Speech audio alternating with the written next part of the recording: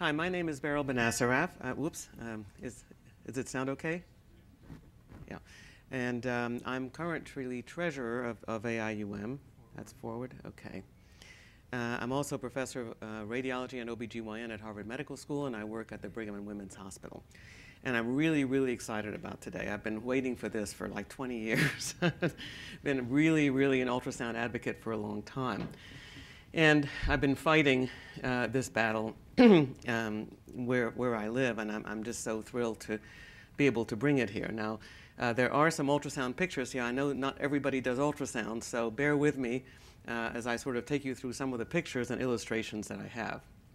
Now, historical perspective, and this unfortunately will date me, uh, but I went through, I was a radiology resident in, 19, in the 1970s, mid 70s, where there was an ultrasound machine in the ER. And that's what we did when patients came in with problems.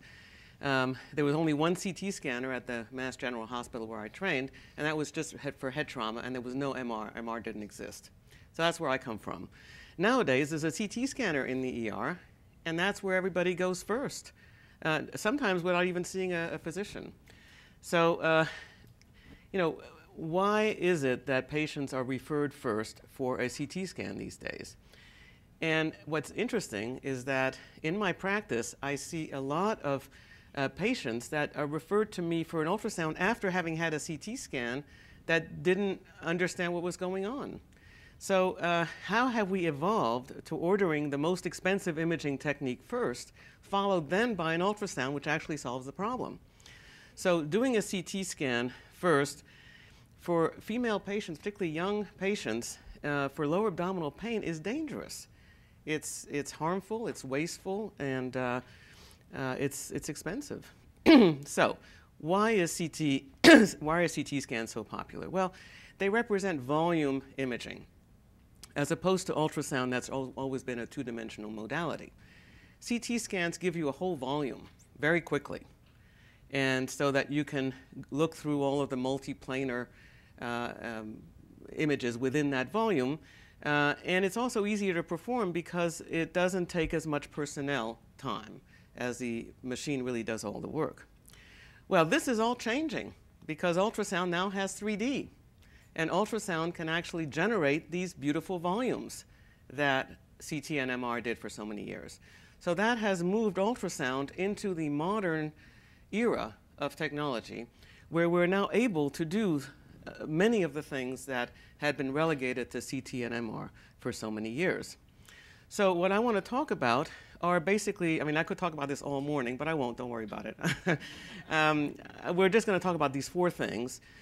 Um, uh, uterine shape abnormalities, um, IUD positioning, uh, adnexal masses, and endometriosis. Uh, four of them really most common issues uh, that we, we come across. And now they are possible with 3D ultrasound, whereas before the MRs were actually uh, ordered for, for these things. Now bear with me, this is a, a, a normal, let me just, a normal uterine cavity with 3D ultrasound. This is reconstructed. This is how nicely you can get ultrasound now. This is reconstructed. There's a catheter inside the cavity. It's filled, uh, the cavity is filled with fluid, and you can see the nice triangular shaped cavity as opposed to this septate uterus in a patient who has recurrent miscarriages. And this is really uh, a, you know, a, an image that is um, very diagnostic and where nothing further needs to be done other than to you know, take care of the septum so this patient can be uh, fertile. So ultrasound and uterine abnormalities has really risen out uh, uh, more recently um, as really the modality of choice. And there is a lot of data. Uh, actually, the biggest study is from Alfred's group uh, showing that uh, if you compare, if you look at the PubMed search for articles comparing MR and ultrasound, on the diagnosis of uterine abnormalities, you'll see that ultrasound, 3D ultrasound, is actually better uh, for the most part, or at least as good, but certainly better in many people's hands. And I think that 3D ultrasound will emerge as the standard and has emerged as the standard. And believe it or not, there's still people ordering MRs uh, for, for this. And it's really very, it, it, it, depicts really, really well. I mean, here are two patients that have septi uterine septi. They're, not nicely triangular shaped uterine cavity. This one is short and fat, and this one's long and thin. And uh, when we do these images, we actually print out an image, give it to the patient to bring it to her appointment so that actually they can see, the patient can see, and the referring physician can see exactly what needs to be done. So very easy to see these things. And some uterine abnormalities are very complex, where you have a heart-shaped uterus, so you have the top of the uterus heart-shaped, you have the septum, and then you have the double cervix. So you can really map out the entire uterine shape, even if you have to do multiple volumes to sort of hone in on the specific areas that you want to look at, namely the cervix versus the top of the uterus. now, when these patients go to surgery, then uh, 3D ultrasound is a great tool for looking at how they did. So here's a septum, subseptum. These are the most likely to be associated with recurrent miscarriages. And here she comes back having had surgery, which really leaves just a little divot here, which is very nicely done. So we do follow up uh, these patients. Now, moving on to abnormally located IUDs. Now, here's an IUD. Um, and look at how 3D ultrasound can really just demonstrate the positioning of the IUD. It even shows you the string. I mean, how much better can you get? You see the string of the IUD. No wonder she couldn't feel it. It doesn't, it's not long enough. Um, and there are a number of IUDs now that are misplaced. I mean, they're not placed there to begin with, they probably slide, but uh, none, nonetheless, they're in the wrong place. And as we see more and more IUDs now with the Mirena IUD and the hormones that are associated with the treatment with the Mirena IUD, we see more and more of these patients. And we actually did a study recently looking at all the patients who came in with IUDs for whatever indication and we had 167 of them. And it turns out uh, that 16.8% of them were significantly embedded or misplaced in the uterine cavity. And as it turns out, 75% of the patients with an abnormally placed IUD presented for pain and bleeding, versus only 35%, 34.5% of those with normally placed IUDs had pain and bleeding as their indication. So clearly, uh, that was a significant um, uh, difference. And so patients who come in, this is a 2D ultrasound, and you can see the shaft of the IUD and you can see the arms of the IUD here in transverse section. But with a 3D ultrasound, it makes the whole difference. You can see where the IUD is with respect to the uterine cavity. Here's the cavity, that nice triangular shaped cavity. There's the IUD way down in the cervix. No wonder she's having pain. This one looks like an anchor. This one's totally upside down. I mean, I don't know how it ended up that way. And then we have a problem with patients who, uh, whose uteri are too small for the IUD. And we're finding out that nulliparous patients have rather small uteri. And this one never deployed because there's no room up here. So we are using 3D ultrasound to help uh, not only identify patients who really should not be having the IUD, but patients who are symptomatic that we can actually see where it is and solve the, uh, uh, the, um, uh, the problem of pain and bleeding for those patients. And then we have some bizarre IUDs coming from different places in the world these are two IUDs from someplace other than the United States, and you know this shows you how well you can depict them. This is the Essure, which, are, which is used in the United States as a uh, tube um, to occlude the, um, uh, the uh, tubal orifices. Now, going on to the third area that I want to talk about, and that's ovarian masses. Uh, it's very important uh, to evaluate pelvic adnexal masses and to do it accurately so that if a patient has ovarian cancer, that we can identify it early. Uh, and if she doesn't have ovarian cancer, uh, that we can avoid doing unnecessary surgery for something that is going to go away or is completely benign. So this is a group, a large group in Europe, IOTA uh, group, which has 19 centers throughout all of Europe, and this is a very large study of almost 2,000 patients with pelvic masses. And uh, of those, um, almost 1,400 were benign, 373 primary invasive, and then 11, uh, um, uh, 111 uh, were borderline, and then we had 58 metastatic tumors. And what this shows is they had a model for uh, looking at ultrasound findings to predict, and they also looked at it as a subjective assessment. You look at the mass, you say, is it malignant, is it benign, if you are very experienced. And both of those um, showed a very, very high um, uh, accuracy in uh, deciding whether something is malignant or benign.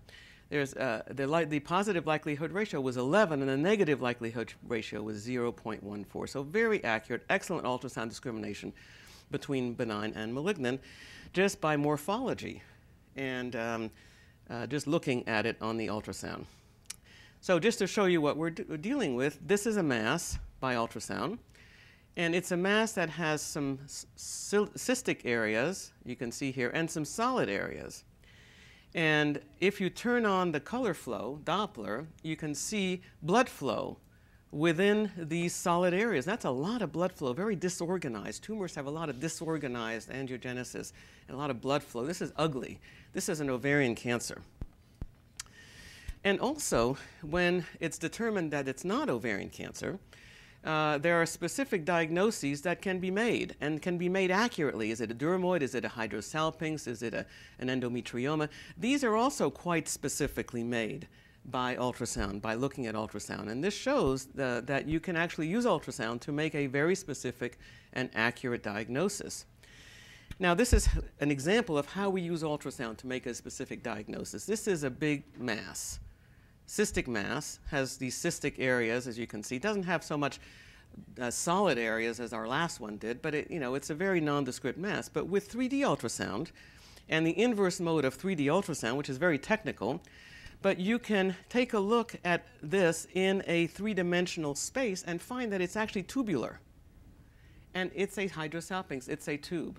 So we have a lot of technology at our fingertips now within the ultrasound machine that we didn't have 10 years ago that enables us to do this kind of work. Now, going on to endometriosis, this is a typical endometrioma.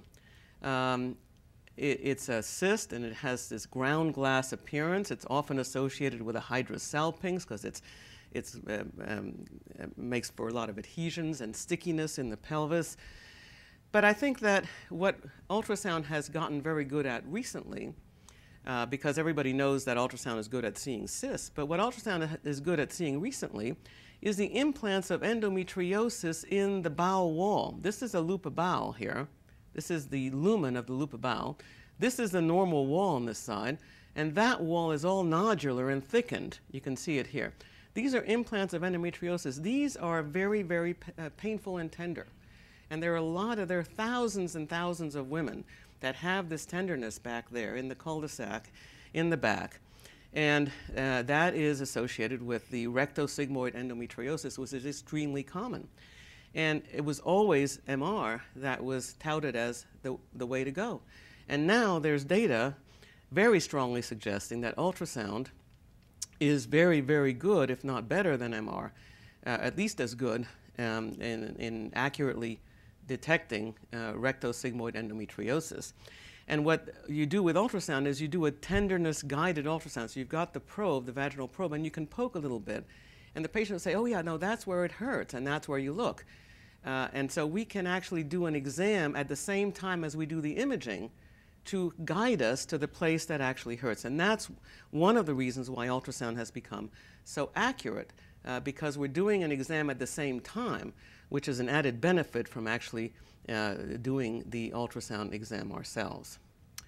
Now, this is, this is amazing. This is a recent study um, that was done. I, I, don't understand this, but I mean, you, you, really can't make this up. But the study done to see the added value of ultrasound following a CT scan in the ER. Now, doesn't that sound backwards? So the ultrasound changed the diagnosis of the ovaries and adnexa 8% of the time, ultrasound changed the diagnosis for uterus 12% uh, of the time. And, you know, um, you wonder, why was CT done first? I mean, why wasn't it done the other way? I mean, don't you think this was sort of the cart before the horse? I mean, shouldn't they have done the ultrasound first and maybe add how much CT, asked how much CT adds to that? I mean, that's what we have to do if you really want to know the answer.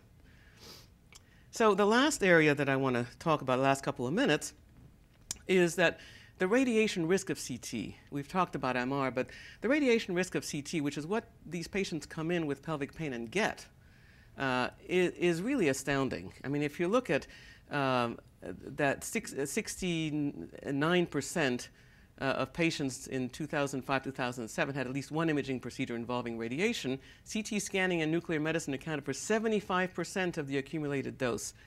uh, 20 tests with the largest distribution, uh, contributions of cumulative effect of radiation, including CT of the pelvis and abdomen. And another study showed that, of course, we've had a huge uh, increase in CT scanning since 1993. An estimated 29,000 future cancers would be related to CT done uh, in the US in 2007. Uh, the largest contribution of this projected risk of cancer, 14,000 cancers, was attributed to CT of the pelvis and abdomen. So this is really dangerous. Uh, this is cumulative and is really dangerous. So in conclusion, ultrasound is safe, free of any radiation. After decades of widespread uh, use, it has no harmful effects. Um, and even in the human fetus, we have trouble finding any kind of harmful effects that we can hang our hat on. Ultrasound is accurate in the diagnosis. I've shown you data to show you that, that ultrasound is accurate in the diagnosis of pelvic masses, causes of pelvic pain, infertility, uterine shape abnormalities. Ultrasound has acquired 3D now, so there's no excuse. Ultrasound has acquired 3D, so it can uh, uh, give us images that are similar to CT and MR and other forms of uh, volume imaging. And ultrasound scans and ultrasound machines are much less expensive than CT and MR. So that's why I strongly believe in the female pelvis, ultrasound first, the way to go. Thank you very much.